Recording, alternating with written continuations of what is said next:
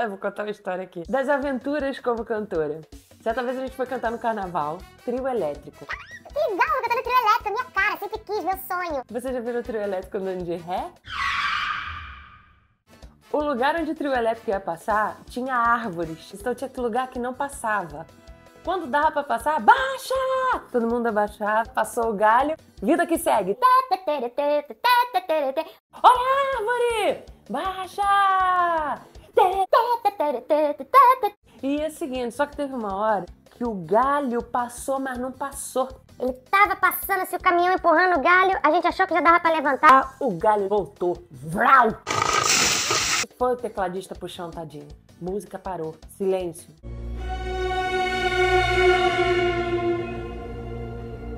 Tá todo mundo bem? O tecladista. Segue o baile. Só que teve uma hora que não teve como, nem se abaixando não passava. Volta que deu ruim. O trio elétrico voltando de ré. Parou onde deu pra parar, o pau torou e vida que segue. Carnaval aconteceu.